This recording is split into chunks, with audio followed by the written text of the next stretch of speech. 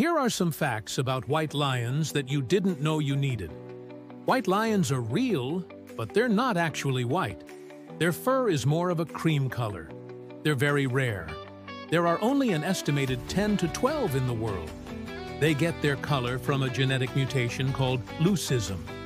This mutation also affects their eyes, making them blue or green. White lions have been around for centuries. There are ancient Egyptian artifacts depicting them. They're not albinos. That's a common misconception. Albinos have pink eyes and white fur because they lack melanin.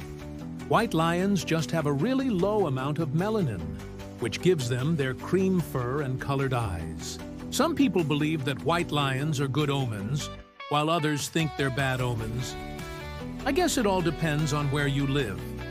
In some cultures, they're seen as symbols of courage, strength, and freedom. I think they're beautiful. What about you?